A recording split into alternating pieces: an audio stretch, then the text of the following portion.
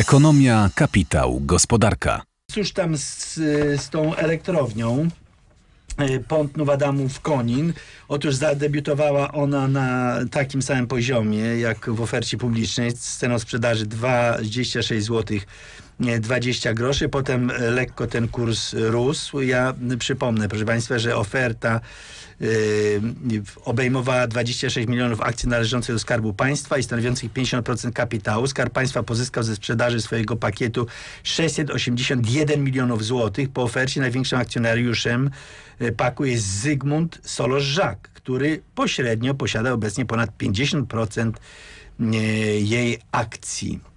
Yy, PAK jest 16 spółką, która w tym roku zadebiutowała na giełdzie papierów wartościowych. Kapitalizacja licząc po cenie sprzedaży wynosi miliard 360 milionów yy, złotych. Yy, PAK jest piątym co do wielkości producentem energii elektrycznej w Polsce pod względem zainstalowanych mocy i drugi, drugim po PGE Polskiej Grupie Energetycznej jej wytwórcą z węgla brunatnego, czy wytwórcą energii elektrycznej. Jest też właścicielem dwóch y, kopalń. Czyli skromny debiut. Skromny debiut. Dwa, dwa powody. Po pierwsze, w ostatnich dniach y, na świecie sytuacja na rynkach finansowych pogorszyła się. A po drugie, y, sytuacja tych spółek energetycznych, które wcześniej debiutowały na naszej warszawskiej giełdzie, pokazuje, że ich kursy historycznie no, zachowywały się nie najlepiej. I w związku z tym tak wielkiego entuzjazmu, jak w porównaniu do debiutów takich spółek jak PZU czy y, giełda papierów wartościowych, które przyciągnęły wielu inwestorów i później były te debiuty bardzo udane. No niestety w przypadku spółek energetycznych raczej nie ma co oczekiwać.